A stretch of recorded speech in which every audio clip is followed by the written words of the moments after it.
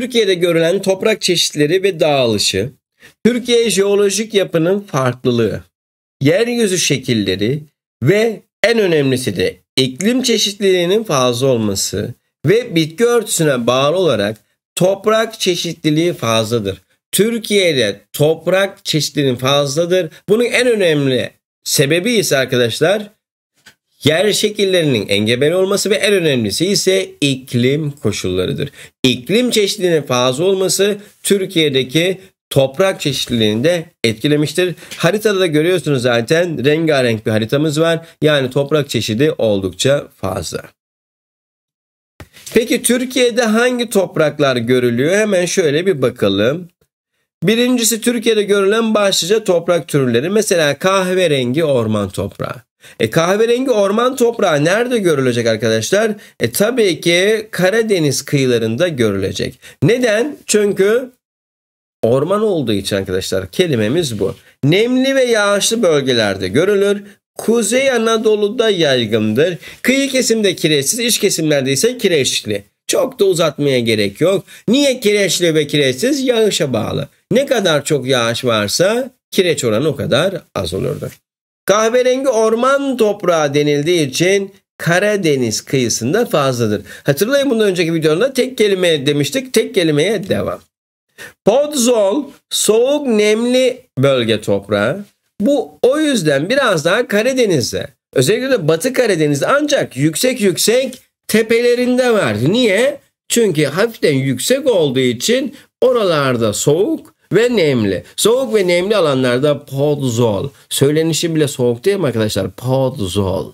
Podzol soğuk nemli Batı Karadeniz. Hemen yazdık neresi? Batı Karadeniz. Ha Batı Karadeniz'de ağırlıklı yine kahverengi orman ama yer yer bu toprakta var. Terra Rossa tek kelime. Neydi arkadaşlar? Artık bunları öğreneceğiz. Akdeniz'de. Akdeniz'in bitki örtüsü nasıl maki diyorsak toprağına terra rossa diyoruz. Terra rossa. Akdeniz toprağı. Tamam Devam. Akdeniz iklim toprağı. O zaman Akdeniz iklimi nerede görülüyor? Akdeniz kıyıları. Kıyı Ege ve Güney Marmara. Bakın şöyle gösteriyorum. Dikkat edin Akdeniz ikliminin görüldüğü alanlar. Şu alanlarda Terra Rossa toprakları görülür. E o zaman bunların üzerinde hocam turunçgil yetişir. Evet böyle yorumlarda yapılabilir. Çernozjom toprakları.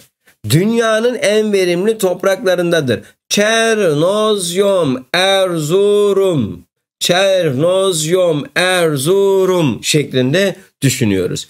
Erzurum Kars'ta görülür. Aşırı derecede verimli. Verimli olmasının sebebi humus. Humus yönünden zengin olduğu için verimli. Ve şu uyarı bizim için önemli. Erzurum Kars çevresi madem çok verimli topraklara sahip de neden tarım gelişmemiş diye bazıları sorabilir. Onlara da diyeceğimiz e, şudur. Erzurum Kars'ta kış ayları çok uzun soğuk sert ve karlı ve donlu geçer. Bu yüzden iklim koşulları çok uygun olmadığı için ya da yaz ayları çok kısa geçtiği için maalesef tarım çok gelişmemiştir diyoruz. Kahverengi ve kestane renkli bozkır toprağı. Bozkır toprağı dediğimize göre İç Anadolu, Doğu Anadolu'nun büyük kesimi ve Güneydoğu Anadolu'da hatta Trakya'da bunlar görülebilir. Karasal iklimde görülür. Yağış az olduğu için yıkanma oranı azdır. Tuz ve kireç oranı az idir dedik. Intrazonal topraklar Tuz Gölü ve Konya Ovası çevresinde suda çözülmüş halde tuz ve karbonat bulunduğu için arkadaşlar burada tuzcul bitkilerin yetiştiği çorak topraklar var. Yani tuzlu toprak. Biz hatta onlara ne diyorduk? Halomorfik topraklar mevcut. Kalsiyum morfik topraklar kireçli bölge toprağı vertisol denildiği zaman Muş, Van, Göl, Van Gölü, Konya Ovası gibi görülür. Renzina yumuşak kireçler üzerinde özellikle İç Anadolu'da görülen topraklardır. Hidromorfik yani sulu bölge toprağı. Taban su seviyesi yüksek olacak. Sazlık bataklık gibi alan olacak. Yani Çukurova, Büyük Menderes, Küçük Menderes, Çarşamba gibi delta alanlarında sulu bölge toprağı yani hidromorfik topraklar görülebilir. Azonal topraklar içerisinde en önemlisi alüvyal toprak. Çünkü bizde en etkili olan dış kuvvet akarsu. Bu yüzden akarsuların biriktirme yaptığı yerlerde bu topraklar görülür. E, Türkiye'de bu toprakların en iyi biriktirme yaptığı yer Çukurova, Seyhan ve Ceyhan biriktirdi. Göksu Deltası, Bafra Ovası ve Çarşamba Ovası. Bunun dışında şu gördüğüm kıyıdaki Büyük Menderes, Küçük Menderes, Bakırçay ve Gediz deltalarında görülür. Aynı zamanda iç bölgelerdeki tektonik ovaların tabanlarında da alüvyal ovalar görülür. Alüvyal topraklar görülür. Alüvyal topraklar özellikle delta alanlarında olduğunu ve benim şu işaretlediğim yerde olduğunu biliniz benim için yeterli. Moren buzulların biriktirmesiyle oluşan topraklardır. Mutlak konumdan dolayı Türkiye'de moren görülmesi zordur, daha doğrusu azdır. Regosol, volkanik arazilerde akarsuyun taşıdığı kum depoları üzerinde oluşur. Kimli, kimli değil kumlu ve yumuşak olan bu e, topraklar üzerinde çok güzel patates ve soğan yetişir. Mesela Nevşehir'in patatesinin meşhur olmasında bunun etkisi fazladır. Kolüvyal topraklar dağlık ve engebeli alanlarda yamaçlardaki döküntüler üzerinde oluşan topraklardı. Bunlar da Türkiye'de görülebilir. Örnek 10'la devam ediyoruz. Türkiye'de toprak oluşumu ve özellikleri ile ilgili aşağıdaki de hangisi yanlıştır? Yaz kuraklığının etkili olduğu bölgelerde intrazonal topraklar yaygındır. Öyle bir durum söz konusu değil arkadaşlar. Mesela Akdeniz'de terra yaygındır gibi. Cevabımız bu gözüküyor ama diğerlerine de bakalım. Yağışlı bölgelerde kimyasal ufalanma yaygındır. Mesela Karadeniz gibi doğru. Kıyı bölgelerimizde alüvyal topraklar bulunur. Mesela Çukurova, Çarşamba, e, Bafra gibi doğru. Terra rossa toprakları Akdeniz'de yaygındır. Bu yüzden turunçgil tarımı yapılır. Doğru.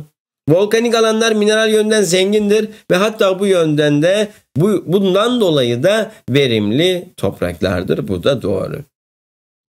Ve ÖSYM'nin en çok sevdiği soru tarzı arkadaşlar haritada 1-2-3 verip burada hangi topraklar görülür sorusu.